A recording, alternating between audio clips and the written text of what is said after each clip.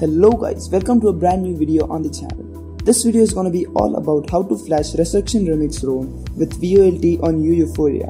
So without any further ado, let's get started. First of all, make sure your phone is rooted and TWRP recovery is flashed on your device. Also, go down in the description box and download the ROM file and the GApps file. After that, go into the settings, then go to about phone and then tap on build number about 7 to 8 times so that the developer option gets enabled. Then go to developers option and make sure USB debugging is enabled.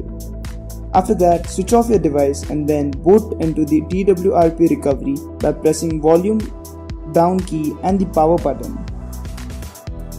Tap on wipe, then advanced wipe, then select Dalvik cache, system, data, cache and then swipe to wipe. Then wait till the process is over. Then go back to the main menu and then click on install. Then locate your ROM file and then swipe to confirm flash. Then select the GApps file and then swipe to confirm flash.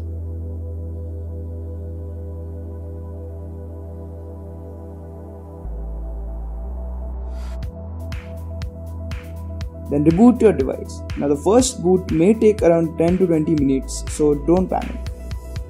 Meanwhile, make sure you are subscribed to the channel. I'll be posting many more VoLTE ROMs. So yeah, just click on that red subscribe button right now. Okay, so now you can see that the ROM has successfully been flashed. Now let me show you that the VoLTE is working or no. So as you can see, VoLTE is working perfectly in this ROM.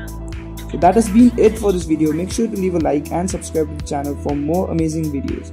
This is Technoaddict here signing off and I'll see you next time. Bye.